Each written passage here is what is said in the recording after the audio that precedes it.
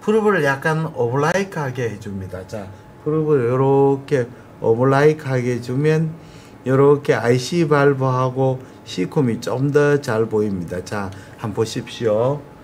이렇게 하면 터미널이면 안테리월, 포스테리월, IC 발브 이쪽이 C콤입니다. 이분은 모델은 수, 맹장 이렇게 충수를 수술했기 때문에 충수를 못 보여주는 게 조금 유감입니다. 예, 그 다음에는 이렇게 끝까지 보고 난 뒤에 어센딩 콜론을 보겠습니다. 자, 프루브를 요 행에서 종으로 이렇게 세웁니다. 세워서 보십시오.